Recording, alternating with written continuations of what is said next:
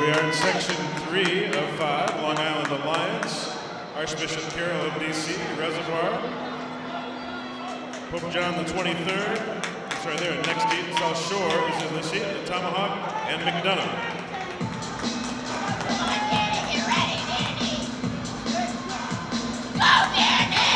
Lane five, zipping right along, Tomahawk.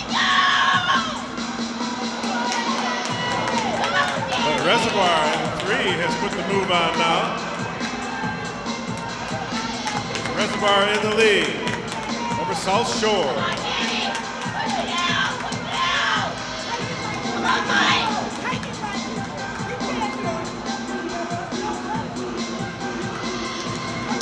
Reservoir averaging 22.8 a man. South Shore 22.75 with a slight advantage.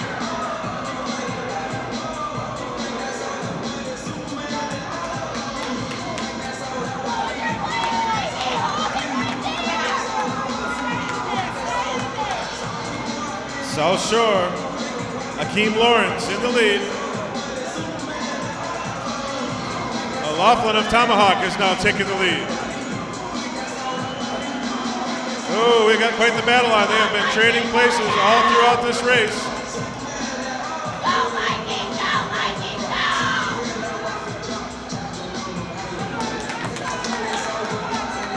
Fifty point nine.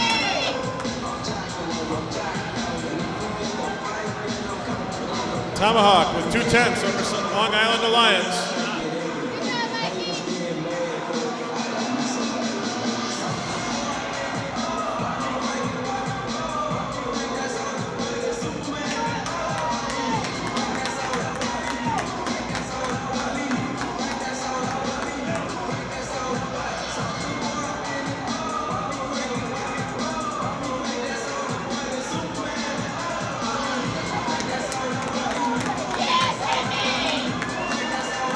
Kevin Lawrence, South Shore. We have literally had about eight lane change or lead changes so far in this short race. They continue to shuffle the deck behind Lawrence of South Shore.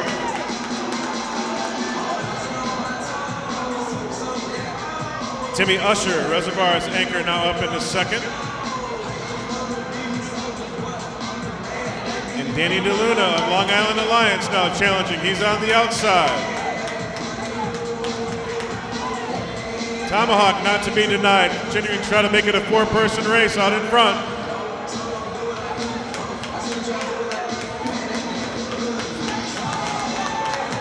Long Island Alliance at the bell. Danny DeLuna has taken the lead. Can anybody reel him back in?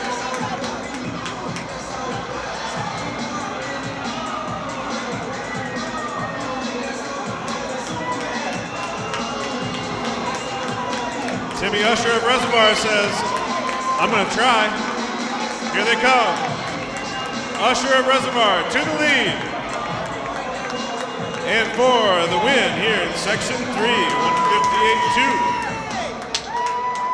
We're in the middle of the first round of the final flight. We already have a unique record. Devon Willis, Shawmon time uh, from New York, 46 feet, 8 inches. He's jumping.